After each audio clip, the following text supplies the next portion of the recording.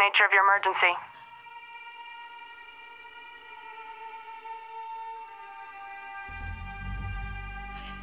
I think my mom is dead in the tub. We got home not even five minutes ago, maybe. Well, I got up. Because we left earlier to go like like to go out with other friends, and she was drunk. And now she's in the tub, like not moving.